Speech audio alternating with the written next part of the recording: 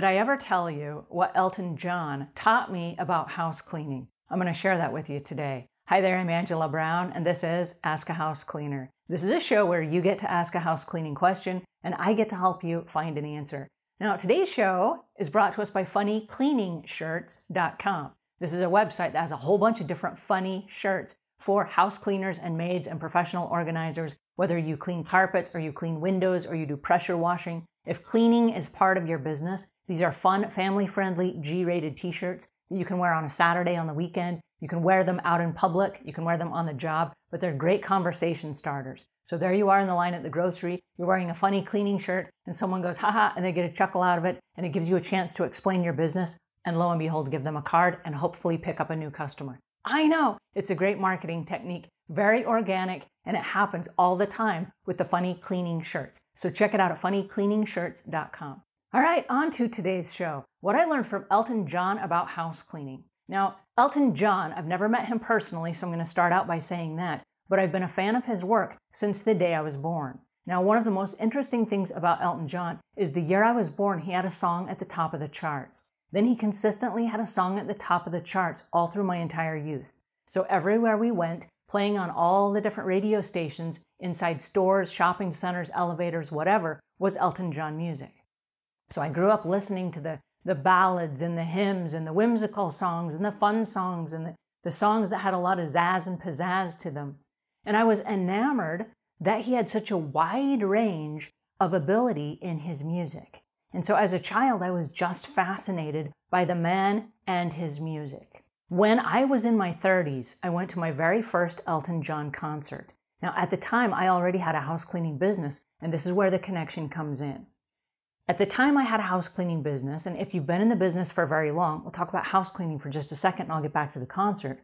But if you've if you've had a house cleaning business, there are days where you get really burned out, where you start to hate your job and you start to hate your customers and the cleaning toilets becomes very routine. And you're like, ugh, why am I doing this? And you want to go do something else. All right. So put that on the back burner for just a second. Let's get back to the concert. All right.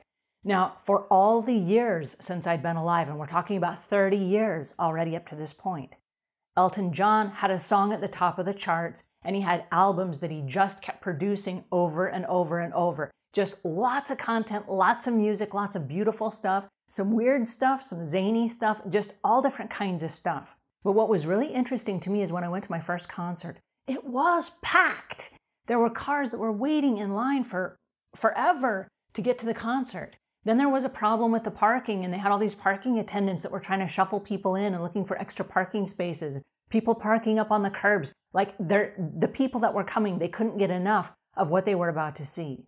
Then the concert started, and it was a very simple concert where typically there's like a startup band and there's all this stuff. It was no startup band. We had Elton John come out on stage and he said, Guys, I know you're here for the music. Let's get started, shall we? And he just sat down and started playing. I was like, There's no warm up act, there's no nothing. He's just going to open for himself. And he did, and it was fantastic. Just fantastic. Everyone in the audience was singing along, and everyone, including myself, knew all the words to all the songs. And we were participating in the magic that He created for us. And as I sat there watching the crowd, the magnetism in the air, and the enthusiasm that was present in that concert, there is a man up on stage. He was my mentor. He was my mentor because he showed me this lesson. Here he was after 30 years, and he was up on the platform performing as if it was his first performance. This was all the passion, it was all the drive, it was all of the pleasure he could bring to this moment. And he had been singing these songs every day for 30 years. Okay? So in that moment, I just stopped and I thought, Am I bringing to my job the same passion and the same drive this man brings to his music? And as I looked around and I witnessed, and uh, I, I couldn't afford an Elton John concert until this moment of my life, right? I, I had to save up my money. It was very expensive. But one of the things that I learned was that everybody that was there was a follower. They were a believer. They enjoyed the music. He loved his music so much. He gave permission to all of these people in this huge, massive arena, permission to love his work as well. And as I sat there saying to myself, I've fallen short. When I show up for my job, sometimes I hate my job, and sometimes I hate the customers, and sometimes I'm miserable, and sometimes I'm grouchy when I show up to work. What could happen? What could happen if I showed up every day with the same enthusiasm as if it was my first day on the job? If I brought that same verve and that same excitement, and I, I loved my job so much that the people that I worked for, I gave them permission as well to love my work. And as I left that concert, I left with a renewed enthusiasm for my cleaning business. Not because Elton and I ever connected on a personal level and not because I ever cleaned his house or any of those things. It's because in the moment that I actually connected with him, I saw the magic of the success. And the magic of the success was him showing up every single day as if it was his first.